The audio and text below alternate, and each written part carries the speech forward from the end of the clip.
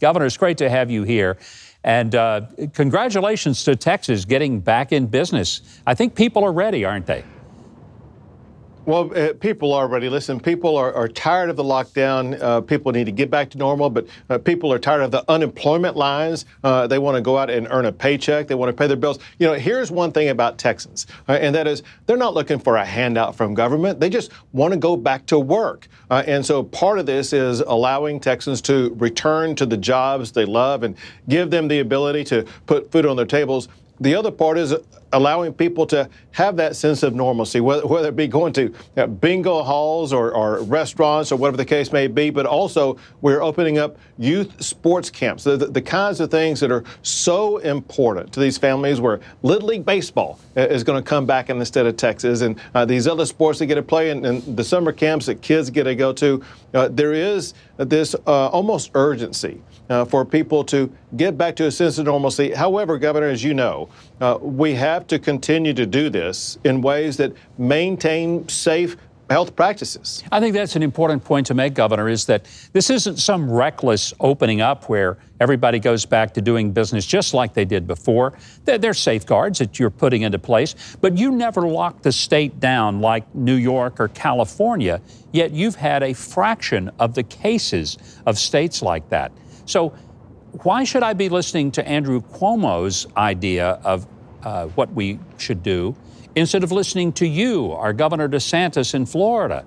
Texas has one of the lowest death rates uh, in the United States of America, and we have the second highest recovery rate. Uh, and so Texans are on the pathway to uh, returning to good health. But again, we're not going to take things like that for granted. We will. Uh, we're, we're, kind of in a transition period right now. We're, we're in the period where uh, we have been through uh, this uh, distancing practices and things like that. And we need to continue those uh, as we get to the point in time here just a few months from now where we will have these therapeutic drugs that people could take that will be able to treat people who test positive for COVID 19. So, uh, our goal is to, as you know, before this happened, Texas was number one in the United States economically for job growth, et cetera. Uh, we want to maintain uh, that economic leading position in our country, and we're doing that as we continue to open up while maintaining these safe practices. You, have had a lot of people in California move their businesses to Texas. That's been happening for a long time. My guess is that in light of this, uh, you may have to put a gate up just keep people from overwhelming you because I think people are going to be looking to come to states that are business friendly, that don't want to regulate people out of business, that don't want to shut people down, but rather figure out how to open them up. Uh, what are you doing? And, and let's use the example of Elon Musk, who said, you know, he, he's just about ready to get out of California, probably to head to Texas. Well, so I've had several conversations with Elon Musk, and obviously, as you have seen from what he said publicly, he is very frustrated with California, but you know part of that frustration predated uh, the whole pandemic situation, uh, as it has with so many other businesses that are trying to uh, get out of California. But whether it be uh, California or a multitude of other states, despite us going through this pandemic for the past couple of months, during that time period, I have continued to work on economic development. I have received a lot of phone calls from a lot of businesses uh, from across the country that during the course of this pandemic, they want to come here. And let me tell you why.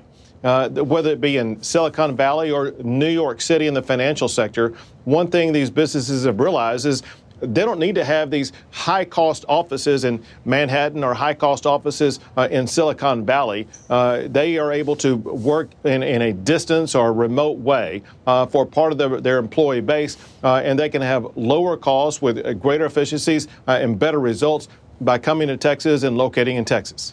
Governor, the president pretty much let governors manage their own states, which is true to the 10th Amendment. Uh, a lot of people may not recognize how big a deal that was in a policy perspective that the president didn't say, look, I'm going to tell you what you can and can't do. He let you make that decision for the state of Texas. Why was that important uh, for the people of Texas? Now, this is not anything that began with the pandemic. This began uh, when the president took the oath of office. Uh, he was clear from day one in his communication with governors uh, that he believed in, in the 10th Amendment, uh, that he was going to empower governors to run their own states. He was going to respect uh, the rightful position under the Constitution that states have. And so it's so refreshing to have a president who understands, who believes in it, and who adheres to uh, the 10th Amendment. And we've seen that play out in this pandemic. Well, and we've seen the successes of governors like you uh, who manage this very thoughtfully and carefully, Governor DeSantis and Governor Kemp and others.